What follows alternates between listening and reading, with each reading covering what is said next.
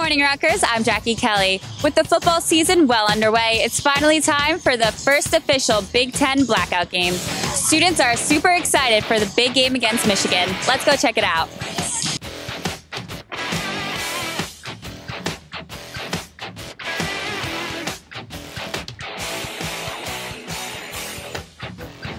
So, can you tell us a little bit about this event?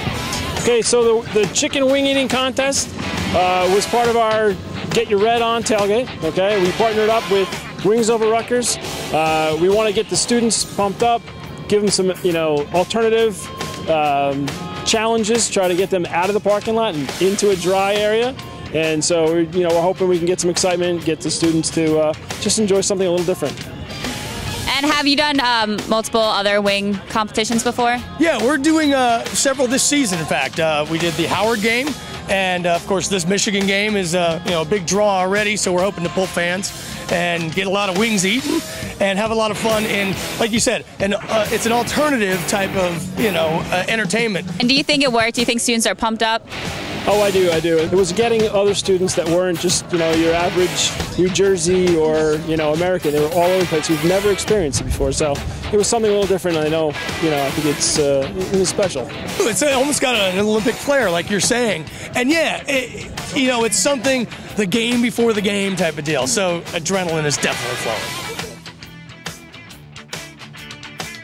So, what's your favorite part about football games? I'd say my favorite part is definitely the stadium, being there with like the student section. Uh, everyone just has a really good time, and it's like a really good energy. My favorite part about football games is when we score, and now we have fireworks, so that's good. I like the cheering, the energy. It really just like brightens up your day. Um, I like the atmosphere, like being in the student section and like cheering the team on. The best part of a Rutgers University football game is just the community, the spirit, the loudness, everyone chanting "Are you rah rah?"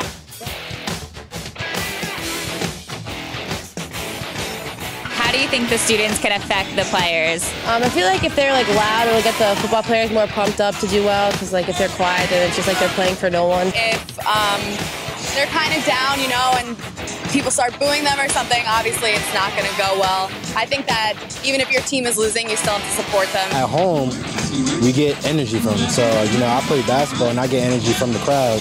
So I feel as though it's the same way in football. Making signs, dancing, showing the players that you want them to win, basically just encouraging them through that. How loud are you going to scream when they score their first touchdown? Uh, I kind of lost my screaming voice about like five, six years ago, so I don't really scream, but I'll show excitement. Pretty loud. I mean, I'm here with my team today, so I think that we're just going to feed off each other's energies and also like the student sections. Probably gonna lose my voice at the first touchdown.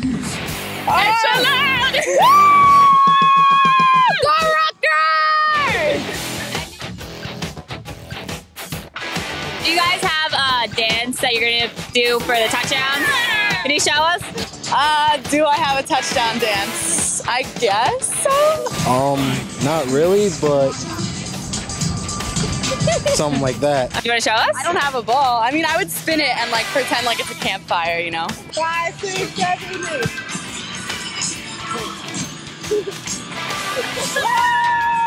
Well, it's just about time for kickoff, but I hope you enjoy this exclusive pregame. Without further ado, let's go chop Michigan. And as always, keep painting the town scarlet. I'm Jackie Kelly, RUTV.